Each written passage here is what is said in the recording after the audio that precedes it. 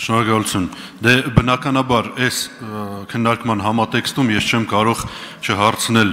ձեր որակումը օրենքի զեկուցման տրամաբանության մեջ նաև ձեր որակումը գործող նախարարի կողմից գործող լրագրողին ծեծելու վերաբերյալ եւ խնդրում եմ կենտրոնանալ հետեւյալի վրա դա մասնագիտական գործունեություն լրագրողի կողմից իրականացնելու ընթացքում էր թե չէ լրագրողը մոտենում է հարց է տալիս լինի դա ընդմիջման ժամ, առօրյայի ընթացք, լինի գործնական, աշխատանքային ժամ, ցանկացած իրավիճակում կարծում եմ տրամաբանական է, որ լրագրողն իրավունք ունի հարց տալու։ Ֆարաձյան Փայլակի նկատմամբ գործող նախարարի, ԲՏԱ նախարարի, ուրեմն այդ արարքը տեղավորվելու է ձեր զեկույցի տրամաբանության մեջ, շնորհակալ եմ։ Նախ նշեմ, որ տվյալ հարցը կարծում եմ ավելի շատ իրավապահ մարմիններին է վերաբերում, բաց այդ տվյալ հարցին պատասխանելու համար փաստական հանգամանքների հստակ ճշգրիտ արկայություն է, այսինքն ծանոթ լինելու անհրաժեշտություն է առաջանում եւ ես ըստ էության չեմ կարող այս պայծրությամբ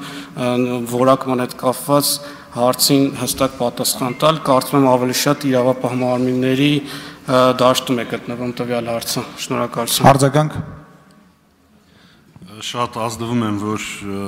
ձեզ նեղդերության մեջ եմ դնում, հասկանում եմ նաև ձեր կոռեկտությունը։ Խնդրում եմ այդ դեպքում որպես արտահայտության նախարարի տեղակալ, որպես պաշտոնյա եւ համապատասխան ոլորտի ղեկավարներից մեկը պատասխանեք, մեկից ավելի հարվածների հարվածներ հասցնելը գույքի վնասմամբ հասարակական վայրում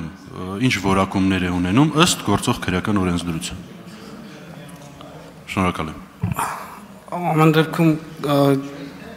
կարծում ճիշտ չեմ համարում ես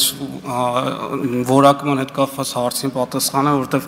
իմ իրավասությունների դաշտում չի գտնվում, այս ամեն դեպքում ծեծի հանցակազմի հետ կապված ծեծի հանցակազմի մասը օրինակ մեկից ավելի եթե այդ հա, դրա այդ մասով ցանկանում եք որպեսի պատասխանեմ ծեծի հանցակազմի հետ կապված կա վճռաբեկ դատային նախադեպային որոշում, որը որ կարգավորում է այդ հարցերը, մեկից որ պետքա ծեծը լինի մեկից ավելի հարվածների դեպքում եւ նմանատիպ այլ դիրքորոշումներ արտահայտել նույն որոշման շրջանակներում, այդքանը կարծում Շնորհակալություն։